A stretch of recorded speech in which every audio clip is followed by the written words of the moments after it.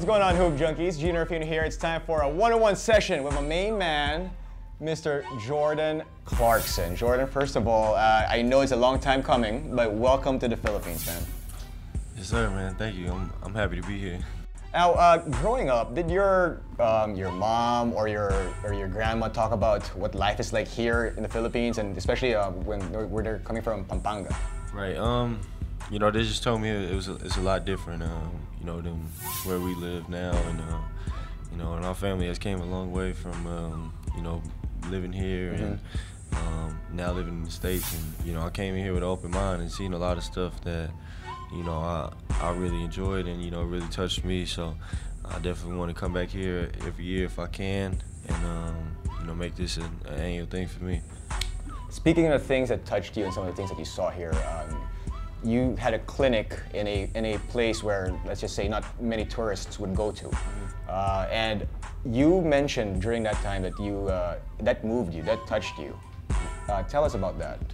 Um, you know, like you said, the passion of, of, basketball here is is crazy, and you know some of those kids is out there in, in sandals and um, you know no shoes and you know out there in the camp playing hard and. Um, you know that that's what really touched me the most, just to see that passion and how much they love the game and how much it the, that little orange basketball connects the world is is amazing. Now let's talk about the the season that you just had. The second half of the season was uh, fantastic for you.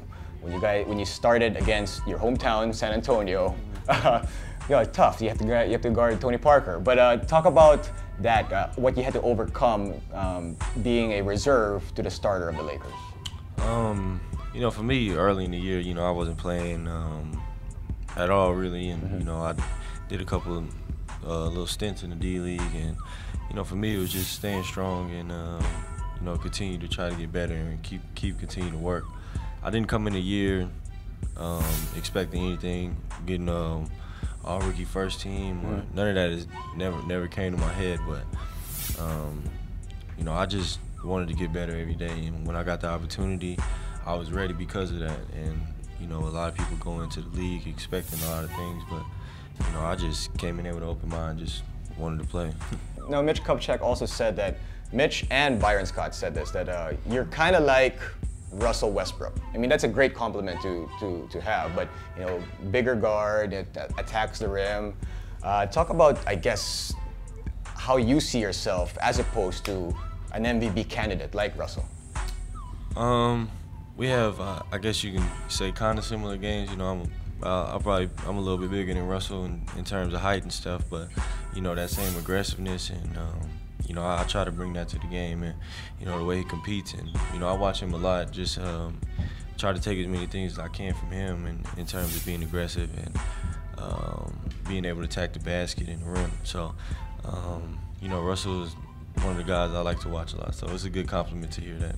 Now I know there's also a very slim chance of this happening, but there is still a chance nonetheless that uh, you can put that Philippine jersey on with the Philippines on the chest and the flag. How much would that mean for you? Uh, you know, it mean a lot. Um, hopefully the opportunity presents itself and, you know, we, uh, we can get that done. But, you know, it definitely mean a lot, you know, being uh, a pioneer. You know, we haven't had somebody in the, in the league um, in a while. So um, mm-hmm. starting that off, and you know, hopefully, um, you know, get some more guys in the, in the, NBA soon. Now you have some friends that are playing professional basketball in the Philippines. Uh, Gabe Norwood's one. Chris Ross is another.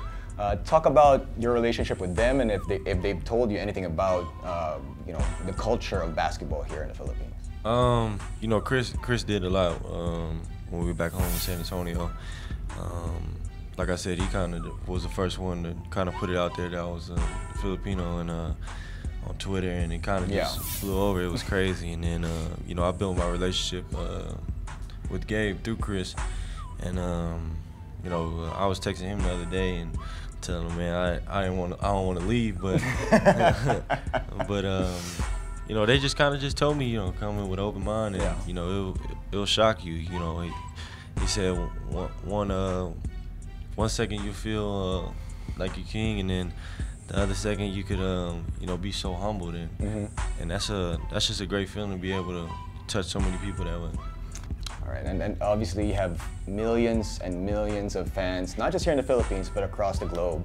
Uh, what is your final message to them before you leave uh, the, the country?